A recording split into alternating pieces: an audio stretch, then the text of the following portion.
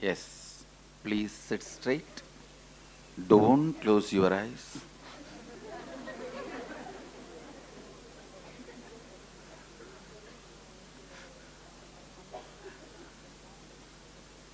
And pick up the Atmalinga with both hands.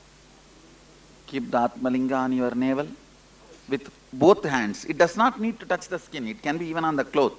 But put both the hands so that it doesn't fall. See, Atmalinga falling is disrespect to Atmalinga. We don't throw the deities like that and play. It's a deity. Yes. Let's start. Sit straight. Inhale, exhale comfortably and hold the Atmalinga with both your hands.